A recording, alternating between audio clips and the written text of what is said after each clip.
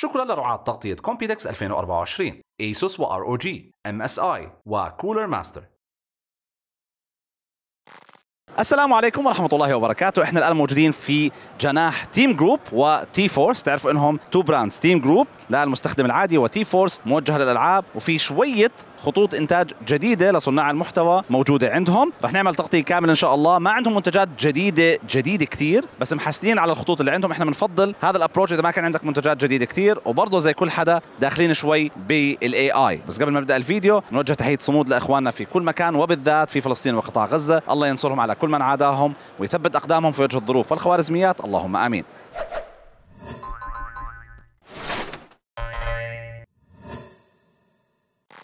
حكيت بالمقدمة إنه TeamGroup ومنتجات T-Force ما عملوا أشياء جديدة كثير ولكن جددوا وحسنوا على أصلا ال lineups الموجودة عندهم. يعني سلسلة ال Xtreem اللي مش RGB هاي طارق بضحك ورا الكاميرا قاعد غير اللون الأسود صار في لون أبيض ولون pink أو زهري. على الاغلب أغل... على فكرة الأبيض كان موجود بس الزهري هو لون جديد وعلى فكرة زهري لطيف مش يعني والله آآ آه، آآ آه، آه، يعني هيك بتحسه مجنون. لا ممكن يزبط حتى مع تجميعات. لا كله بناتي صراحة بزبطش زهري إلا مع بناتي إلا إذا حدا شاب حاب والله يجمع تجميعة فيها زهري. لأن السرعات زادت بطلت 5200 هذا نسيناه ال 5200 من 6400 إلى 8200 باستثناء الزهري أعلى سرعة فيه 7600 بس حتى بلش 6400 فقط. عندنا أيضا ال Xtreem ARGB اللي هو بيجي باللونين الأبيض والأسود. أيضا سرعته من 7000 6400 إلى 8200 طبعا اضاءه ال RGB جميلة جدا ال cap جاية عالي شوي كإضاءة. نفس الإصدار هذا بس طلعوا. شايفين هذا الخط؟ من الخط وفوق صار RGB أو من الخط وتحت على الجهتين مش RGB. بس ما في من النسخة ال RGB زهري فقط أبيض وهذا الأسود.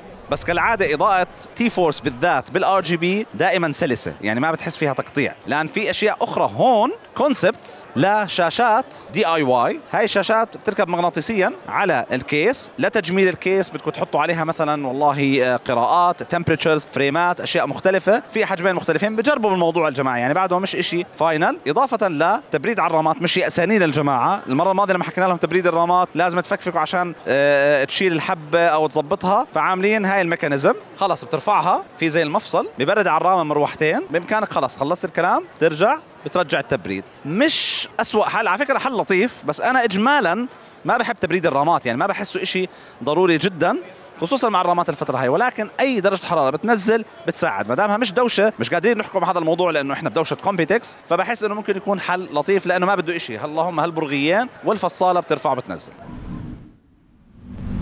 زي ما في تي فورس رام في تي فورس اس اس ديز وفي line جديد كامل. تعالوا نشوفه سوا. اللي هو line ال Z أو ال Z في عندنا 5 وفي عندنا 4 التسمية بسيطة جدا. ال5 Gen 5 وال4 Gen 4 الآن هذا الحكي كان موجود السنة الماضية بس للأسف ما عيناه لأنه آه، ما في توجيه لهاي القطع للشرق الأوسط حاليا. بس إن شاء الله جاي على الطريق. السرعات من 5 جيجا بايت بالثانية 7 جيجا بايت بالثانية 10 جيجا بايت بالثانيه و12.4 جيجا بايت بالثانية لسلسلة ال Z بشكل عام. تقدر تشوفوا هذا الكلام كمان شوي على ال poster راح اورجيكم اياه بس بعد ما نستعرض الشيء الثاني أو السلسلة الثانية اللي هي ال GE وال GE في ال GE Pro ال GC Pro وال GE Pro الآن Pro كلها موجهة لل gaming بس Pro بتيجي فئات أعلى يعني 10 جيجا بايت بالثانية 12 جيجا بايت بالثانيه وال E بيجي 14 جيجا بايت بالثانية يعني أرقام لطيفة جدا. لا Gen 5 وطبعا في جن 5 الجي اي بيجي 12 جيجا بايت بالثانية وفي أيضا ال Gen 4 اللي هو ال G70 Pro بيجي 7.4 جيجا بايت بالثانية وفي طبعا مش بس ال 2280 في القياسات الأخرى 2240 اللي هو ال G50 RQ بيجي 5 جيجا بايت بالثانية والجن 4 جي 50 بيجي 5 جيجا بايت بالثانية نفس الشيء ولكن بسعات وأحجام مختلفة. بتقدر تشوفوا هذا الكلام على هذا ال poster بوضح كل المنتجات والسرعات. أنا بحب هاي الشغلة ب T-Force إنه دائما بوضحوا الفئات مع السرعات والمنتجات الأخرى بعدهم مصممين على تبريد ال SSDs ولكن الشيء اللطيف إنه هالمرة ما بحطوها موجودة مع ال SSD نفسه. أكثر concept عاجبني بكل هاي الأشياء هو هذا لأنه سلسلة ال Dark Dark Dark AirFlow و Dark WaterFlow هاي كلها Dark ولكن capital letters Dark بيضحك قاعد. دائما الناس تاخذ أسمائه. هاي أول مبدأ هذا أو أول concept اللطيف فيه إنه modular قاعدين بنحكي عن two heat pipes مع heat sink وبتركب تقدر تعملها stack واحد اثنين ثلاث حتى أربعة. حتى ال fan ال included جاية optional تركبها وما بتركبها. والشيء اللطيف أول سؤال سألتهم إياه SATA ولا ولا four pin حكوا لنا لا أكيد four pin عشان نتحكم بسرعة الفانات. فال fan موجودة بتقدر تحطوها على silent لأنه هذا الحجم من المراوح صوته عالي جدا هيك فيعني الواحد بنخزق راسه وهو بسمع صوتها. في حلول جاية جاهزة مع heat pipes و heat sinks في حلول جاية بمراوح حجم أعلى وفي حل جاي water cooling مع RGB و fan حل مع زي tower مع fan صغيره جاي بالجهة الثانية. بعرفش رح تبين معكم ولا لا. وآخر واحد اللي هو heat sink مع fan من الجهة الخلفية ولكن الحجم الأكبر. وآخر شيء من منتجات T-Force التخزينية في عندنا الام 400 يو اس بي 4 بورتبل اس اس دي قاعدين بنحكي طبعا 3D NAND وكل هاي الأشياء بس يو اس بي 4 تايب سي ساعات 1 2 4 تيرا بايت والسرعات 3700 و3400 كتابة أو قراءة وكتابة. فهي سرعات ممتازة جدا ل portable SSD بس لو كانت السعات أعلى لا على فكرة ما هو يعني هاي ان في ام اي الساعات الأعلى بصير حجمه أو سعره غالي جدا جدا.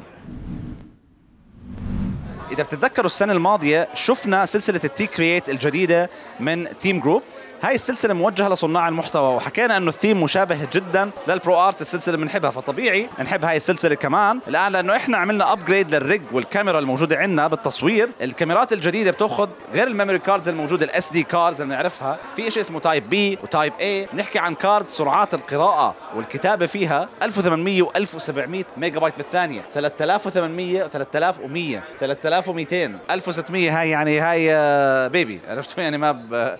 أما ال cards العادية يعني قاعدين بتحكي عن 160 ال expert في 300 ب 260 المستعملها حاليا وفي 280 ميجا بايت بالثانيه ال V60 ال V90 لهم أصلا categories أو فئات للسرعات وكل هاي الأشياء. وإذا ال cards ما كفتك بإمكانك تروح مع external SSD يعني مثلا تحت ال T-Create في شيء اسمه CinemaPr أو line زي ال R4i هاي. بتحكي عن USB 4 بتحكي عن سرعات 3300 و 3000 ميجا بايت بالثانية. تنوصل ب USB واللطيف فيها زي ما راح نشوف كمان شوي. بيجي معها mount لل cage أو القفص تبع الكاميرا. هاي نفس ال cards اللي شفناها بالأعلى أو خ... لأنه صراحة ال poster زي ما قلت لكم دائما TeamGroup بعطونا كل المعلومات. ففي نسخ مختلفة. ال R3i وال R4i بيختلفوا. في منهم card readers في منهم آه أصلا بكونوا SSDs ممكن يكونوا SSD و card مع بعض. بامكانك تستعملها على التليفون زي ما راح نشوف كمان شوي.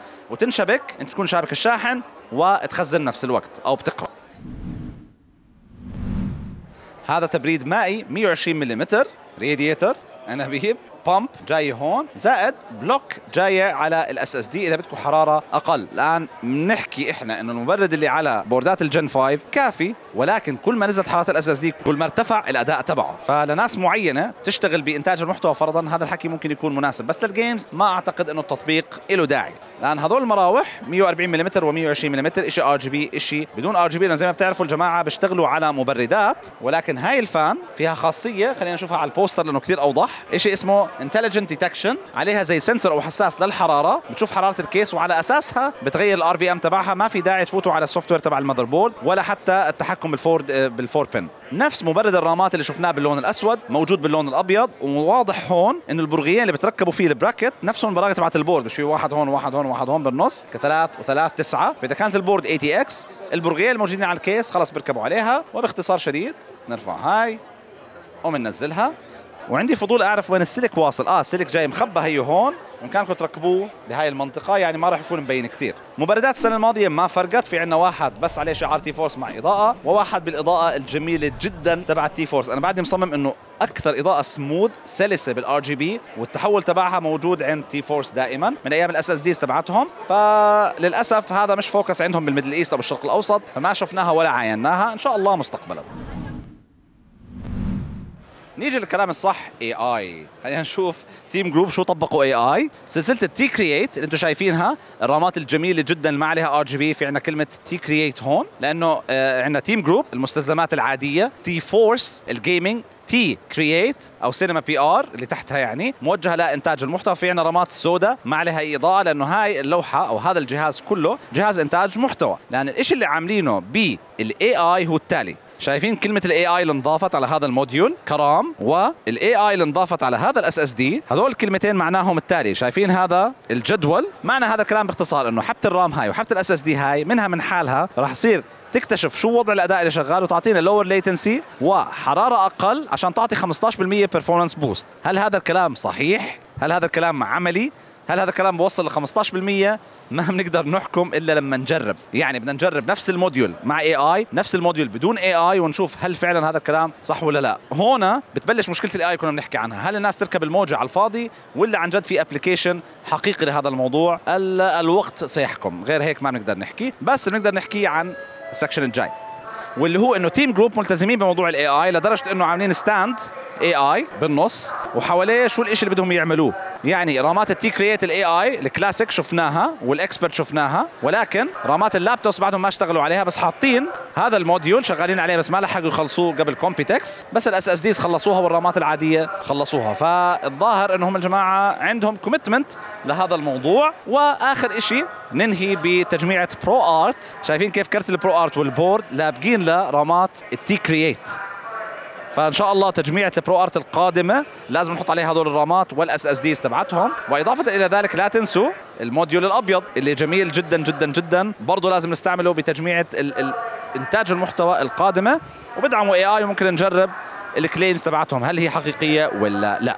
هاي المنطقة عشق دارك الكاميرات والأشياء اللي بنقدر نشتغل عليها على سلسلة ال T-Create أي شيء ممكن تعملوه عشان تضيفوا أو تعملوا add-ons على الكاميرات اللي عندكم أو التصوير. لأنه إذا كان عندك كاميرا احترافية مستوى أعلى من الكاميرات العادية بدك تروح لحلول زي هيك. الحلول هي كالتالي memory card 256 512 1 تيرا ما بتكفي. بدك external SSD زي التي سي T-Create بسلسلة ال CinemaPr اللي هو فعليا جاي. ولاحظوا في عليه فتحات من جميع الجوانب عشان تركبوه على ال cage أو القفص تبع تبع الكاميرا مع سلك ال USB طبعا اللي بتوصل مع module للكاميرا نفسها وبتروح تصور على ال SSD نفسه. ما بتقلق إنه والله فللت ولا ال memory card بطلت تكفي. فهذا الكلام جدا جدا بحل مشكلة لعن جد الناس اللي بتصور بوضوحات عالية كثير. أنا قاعد بحكي عن دارك وصديقنا صلاح من قناة أندرويد. باشا الجماعة هذول كل حكيهم عن الكاميرات. bit rate عالي 500 ميجا بت 1000 ميجا بت الحكي هذا كله. فالموضوع مش سهل للناس اللي بدخلوا بهذا المجال. ففي خيارات متعددة. SSDs و memory card زي ما شفنا قبل شوي. بس عادة هاي الحلول مش بس للكاميرات. ممكن تروح مع صناع المحتوى اللي بيصوروا على التليفونات لأنه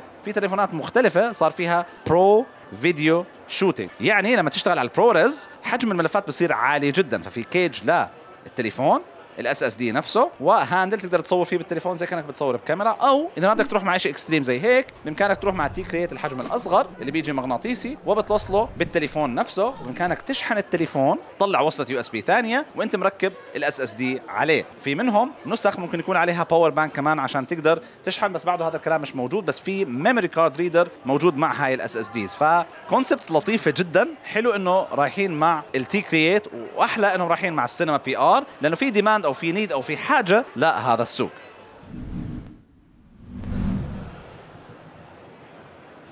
هذا كان كل شيء في جناح TeamGroup احكوا لنا شو أكثر منتجات عجبتكم. هل حسيتوا تطبيقات ال AI الموجودة عندهم لها داعي ولا ما لها داعي خبرونا بالتعليقات. لا تنسوا تكونوا مشتركين بالقناة وتفعلوا جرس التنبيهات عشان توصلكم تغطيتنا الحصرية ل Computex 2024 من TeamGroup وغيرهم مستمرين في جناحات كثير. ما يعني ما تخافوا ما خلصت التغطية. يعطيكم ألف عافية. تحية كبيرة جدا من دارك خلف الكاميرا ومني أنا ماد. سلام.